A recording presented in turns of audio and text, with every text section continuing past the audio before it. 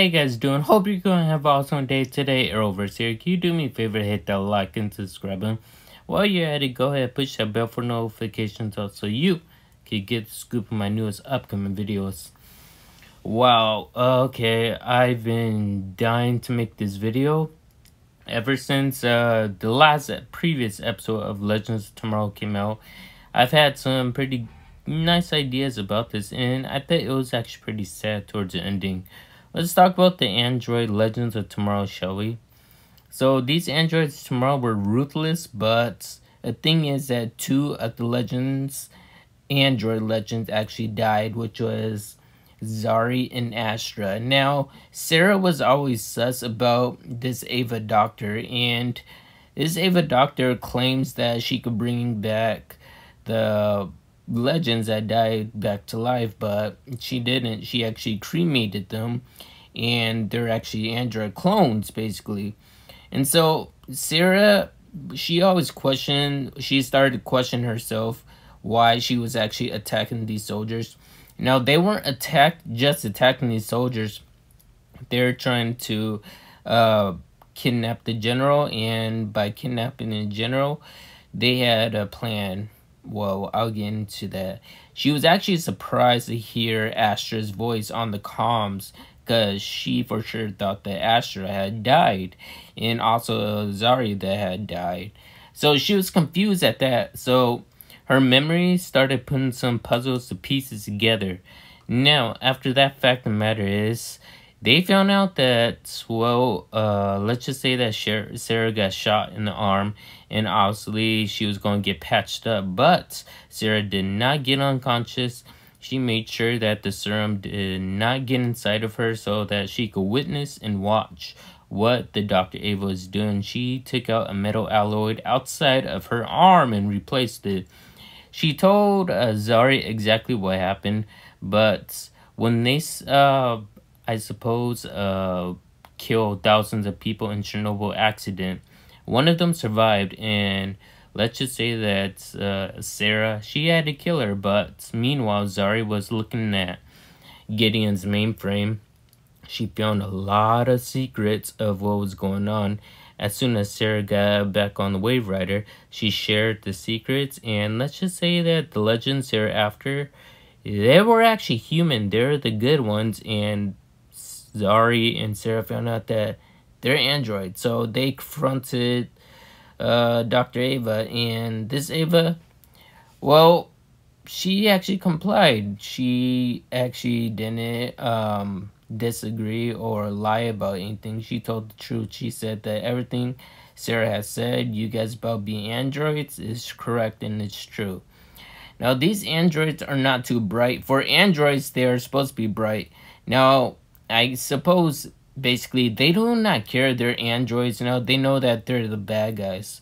Meanwhile, Zari gets corrupted by Gideon and Gideon implants some inhibitors inside uh, Zari's uh, mainframe brain, which means she's like an evil Gideon as well herself.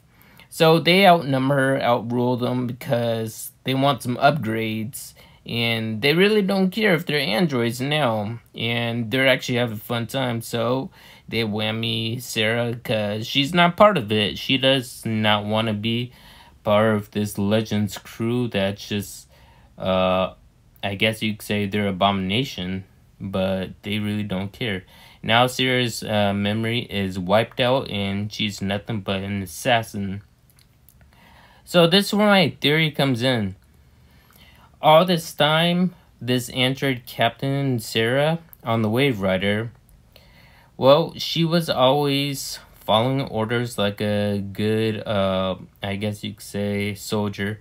But when the time came when she had to sacrifice a thousand people, that's when she started to question herself about this Dr. Ava. Like, am I really actually going to sacrifice thousands of people? And how did she even actually bring back uh, two legends that are supposed to be dead, Zari and Astra? So, what does she get her memory back? By killing a lot of people, of course, and also fighting, not to mention uh, following orders. something will spark back. She'll get her humanity back slowly. You never know. Anything could happen, especially with the general, what she had to do with the general. Uh, if they keep on making these cunning and crazy plans such as this, I'm pretty sure that she'll get her memory back real soon and she'll find out that what she did was very devastating and tragic in the Chernobyl accident. So as soon as she's still a mindless uh, android still working for them, her memory will gain back together, but it's going to be difficult because she's going to be outnumbered. Even though she is a ruthless killer, her instinct, she needs to, well, pause, stop, take a break, and think about what she's doing first because she's still programmed into killing and it's going to be difficult for her to actually stop. But what if she actually does stop? What if she actually takes control? Over her own body, over her own mind too as well. Was she strong enough in order to do that? Because she did it once before. And what if she actually went inside a time portal and time ported uh, wherever the main legends were? Now, this is where uh, the plan comes where they're going to end up destroying the android legend. So, Android Sara is actually going to visit uh, the regular legends of tomorrow that are supposed to be the good ones, of course. And she's going to confirm every single information that she stored from them, and they do have a lot of upgrades, which means these legends of tomorrow are going to have one hell of a fight against a lot more androids, and they're even more powerful. So you need to get these androids into one place, most likely the Waverider if they're on the Waverider, you could destroy the Waverider.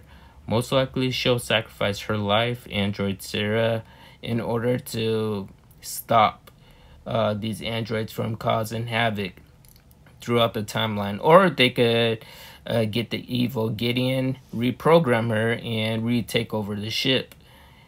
So, that is my theory video of today. Hope you guys enjoyed this video. If you guys are new, subscribe to the channel as always. And yes, I'll see you all in the next video, of course.